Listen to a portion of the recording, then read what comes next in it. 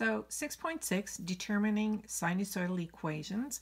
What I'm going to do now, which is really part two of 6.6, is to do some homework questions with you. So I've chosen 5D, 6D, and 10, and um, we'll go through them slowly to make sure that you completely understand them and you can do them on your own. So you might want to try them first and see where you get stuck and come back and uh, watch the video. So 5D, all I've done here is graph the set of data that they gave you um, exactly like this here.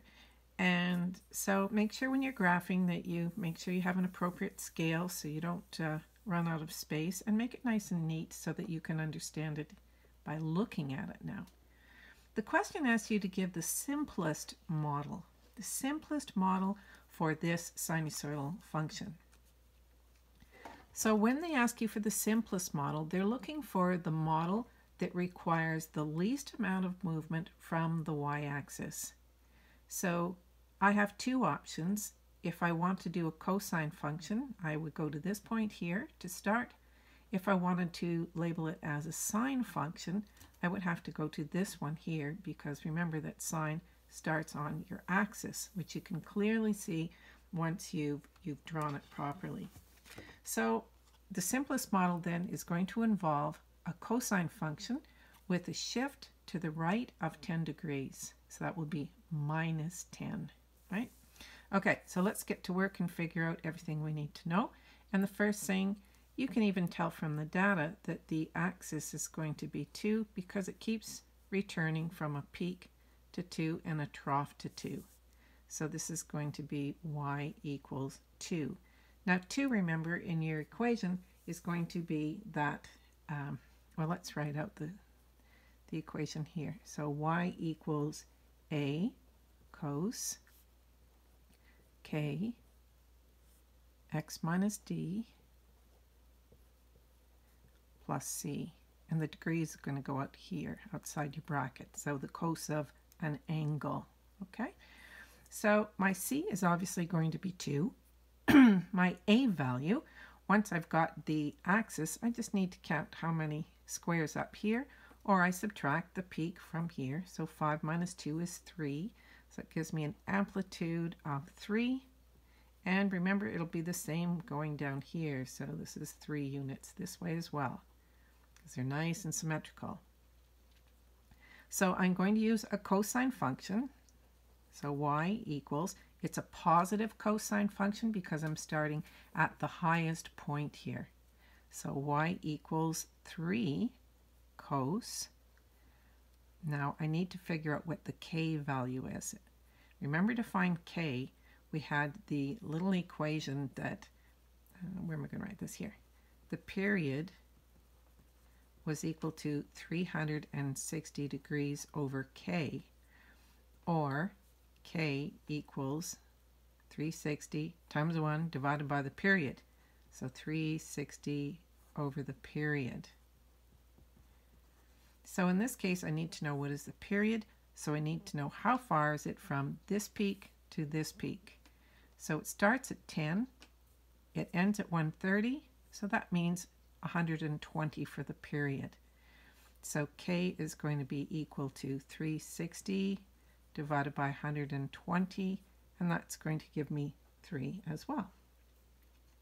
So that's going to go in here, 3, and then I have my x, and I said I moved it to the right 10 degrees, so that's minus 10. Close the bracket, put your degree out front, and put your c value. And there you go. That's as easy as it is. Doesn't get much easier than that, does it? Let's hope they're that nice on your test. Okay, so the next question, they give you some information about a cosine function, and it says determine the equation of the cosine function whose graph has each of the following features. So it's asking you for a cosine function, so we're going to give a cos. Do you give a cos? Okay, cosine function. So same, let's write out the equation again. y equals a cos k x minus d, close the bracket, plus c. So they give me the a value, 0 0.5. So y equals 0.5 cos. The period is 720. So remember the period is 360, or k is equal to 360 divided by the period. We don't need to write that one out. So k is equal to 360 divided by the period. So that means k is going to be 1 half this time. So I have 1 half. Horizontal translation minus 56 degrees. So if it goes to the left 56, that's a minus a minus. So plus 56 degrees, and the axis is minus 3. Yay, done. That was easy, wasn't it? Okay, and the last question, I spent a little bit of time graphing it so I wouldn't spend all that time wasting your time watching me graph. You can graph these yourself. I've done two of the questions from question 10. There's Athens and Moscow, and there was also Lisbon in there. But I chose to just do um, Athens and Moscow because they're farther apart, less squishy on the graph. So um, the hardest part here for me when I first looked at the solution, and it's always okay to look at the solution in the back of the book and see what they've done, is that it only goes to 11. And you know there's 12 months in the year, and is the first one January, or where does January go? So January is actually time zero here. So I put it here. So that's why it's at 12. The whole thing is finished in when I get to 11. But you know there are 12 months. So when you're determining your K, it's actually from 0 to 11, which means 12. As you know, you had 12 inputs here. So you have 12 pieces of data. So the cycle goes from, you have to think of January going from time zero to the end of the first month. It's like, how old are you? When you're, um, when you're five years old, you're actually into your sixth year, right? So it's kind of a little backwards there. Okay, so let's take a look at Athens here. Now they want us to determine the amplitude. So remember the amplitude is going to be um, I need to know what is the highest point and what is the lowest point, and I want half of that. So the amplitude here, so the highest point, which is this one in times 6, so that would have been in July, so 33, and the lowest number on here is 12. So the amplitude is going to be 33, subtract 12, and divide it by 2. So 33 minus 12, that's 21 divided by 2, so A is going to be 10.5. Now determine K. So K, we have a 12-month cycle. It's 12 months in a year. So the period is 12. So K is going to be 360 degrees divided by 12, and that's going to give you 30. Now, is there a shift? Well, it depends on what trig function you're going to use.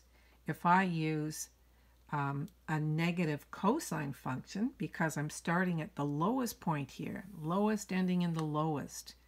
So that means, remember we talked about the different trig functions. So if you have a cosine function, positive cos goes this way, negative cos goes this way.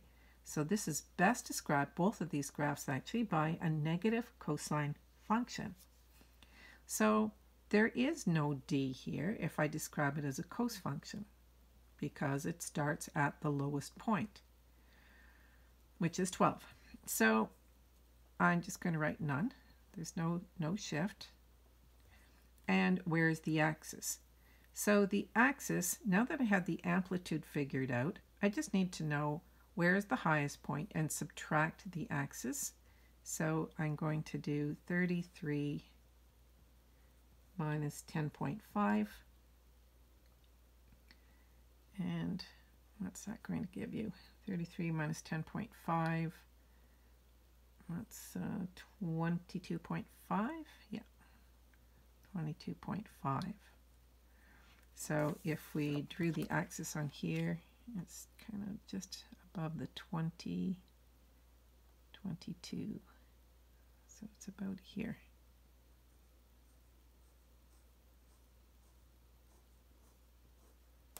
So in the next chapter, what you're going to be doing is using your equations to determine if I say, well, what will be the temperature at uh, uh, seven and a half months or whatever. So you'll you'll see that when we do some more of those in, in the last chapter.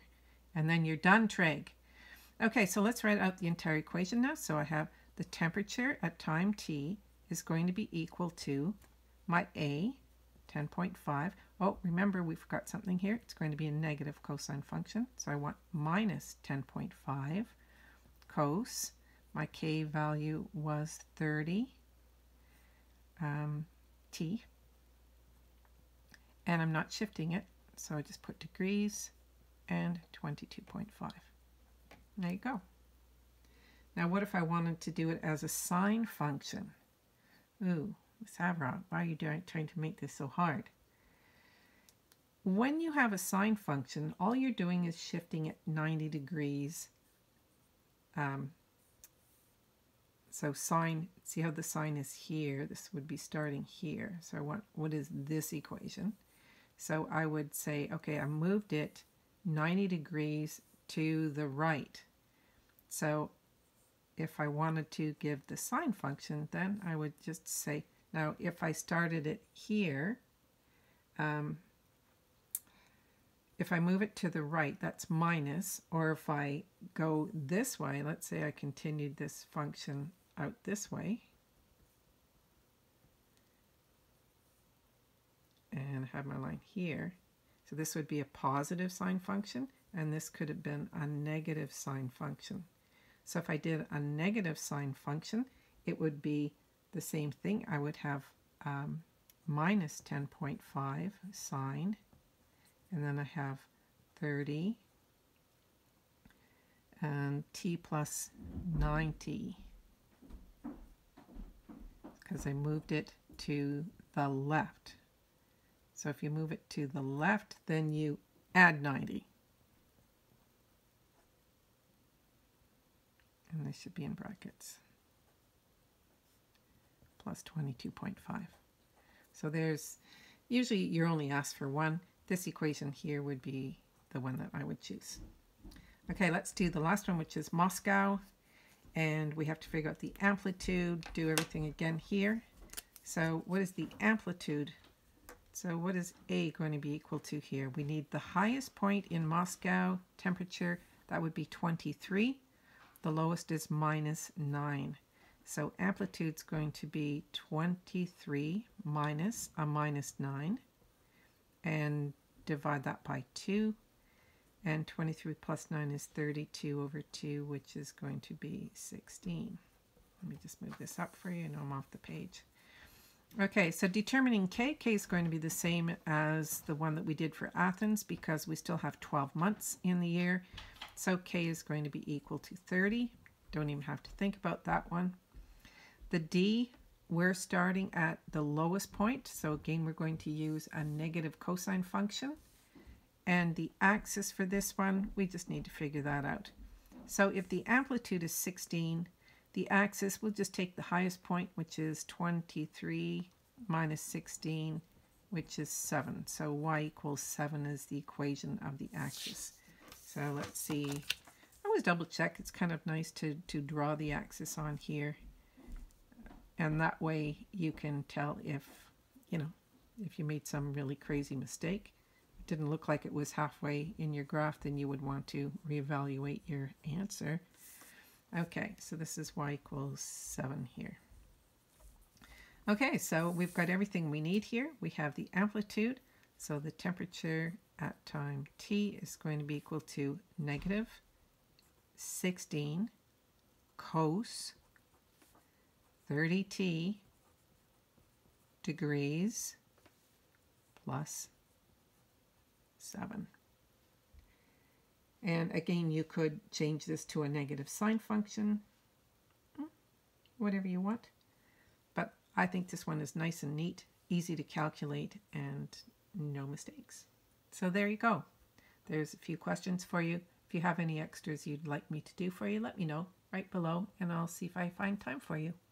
Hope you're having a good day. Bye.